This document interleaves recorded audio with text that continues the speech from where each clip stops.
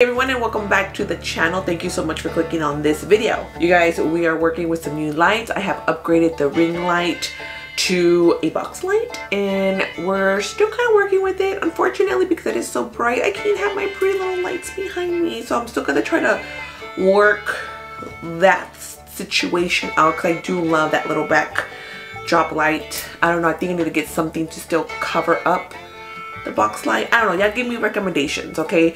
But I'm still kind of going for like the half darkish look. Let's go ahead and get on with this video. I hope you guys were not holding your breath on this review because it's been a year later we're finally talking about season two of Yellowstone. If you guys are new, if you guys haven't checked out that review, I'll link it up here. But short story, I wasn't fully on the bandwagon with season one. I was just like, oh, okay, we'll go, we'll give season two a chance. We'll see what happens. I'll let you guys know at the end whether I'm on the bandwagon, if I'm off the bandwagon while I continue watching the series. Stick around. So I did actually finish season two like in December. I just haven't done the review. I totally forgot. Also, I meant to do the review for season two of The Handmaid's Tale and I've been wanting to watch season three and I think I accidentally deleted my review notes for that. So that's like devastating. So that's gonna be another really quick review. I think, I don't know, I may end up just doing like a TikTok quick recap. Well, not recap, but like thoughts about it. We're gonna go ahead and get on with this. Um, I'll have timestamps below in case you just wanna jump around on, on certain things. Somehow I ended up going with updating you guys on four characters. So we're gonna update the four characters and then we're gonna do final thoughts because that's not really what this was supposed to be. It was supposed to be just like an overall review, but somehow this is how it happened. And since I wrote it down, I'm gonna I'm gonna do it. The big bad people of season two, the Beck brothers, they are no good people. They're basically just stone cold killers. They're willing to do anything and everything to basically get their way. They mess with the wrong family. You don't mess with a Dutton family because they said, oh no, we always get our way. Like nobody ever fights back. The Duttons fight back. They basically are trying to run out the Duttons or whatever. Like basically get the land. The land. That's what all this is about, right? The Dutton land, how they have way too much.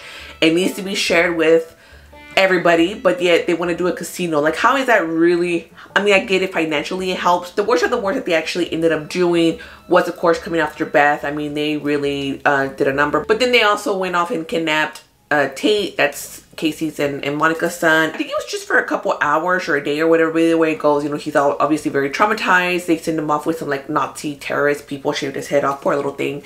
So um, I'm kind of curious to know what he's gonna be going through in season three like what kind of trauma ptsd he's gonna be going.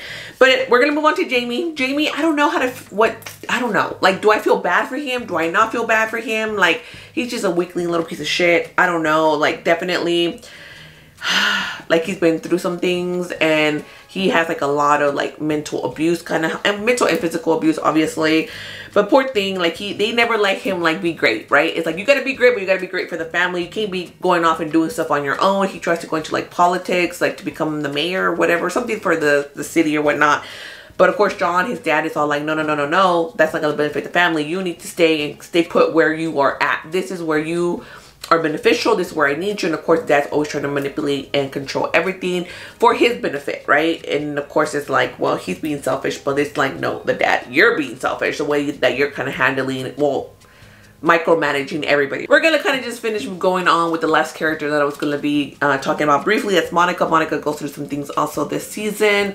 You know, her and Kayce, they're separated and she kind of tries to move on and venture away from Kayce. Like, can I live my life without my husband?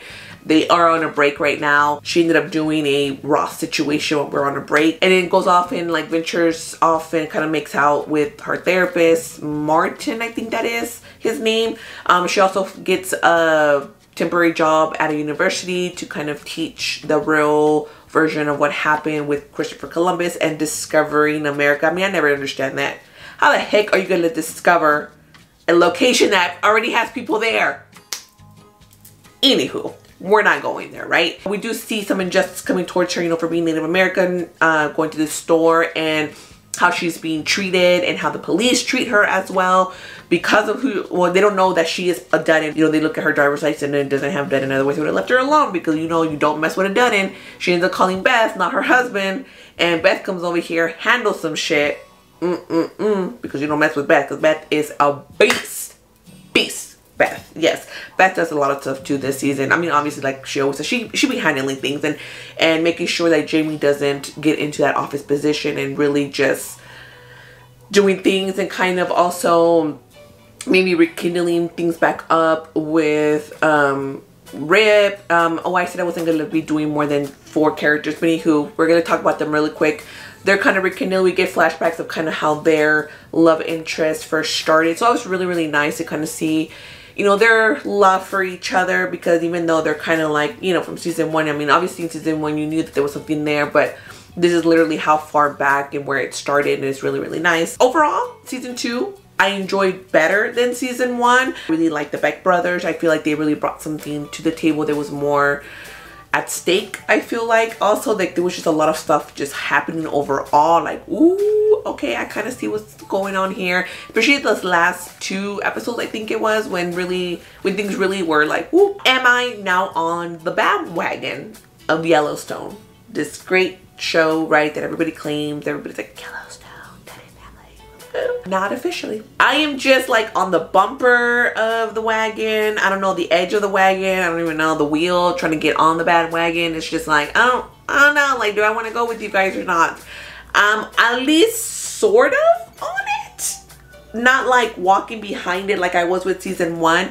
The way that season three ended, I'm like, okay, I want to see what happens with season three. And I think that's the reason why I'm now I'm doing this review because I'm just like, dude, I need to do the review before I go off to season three and then I totally forget what happened in season two. Yeah, those are just kind of like my quick, not quick thoughts kind of breaking down four or five characters, not all of them. What am I ranking season two?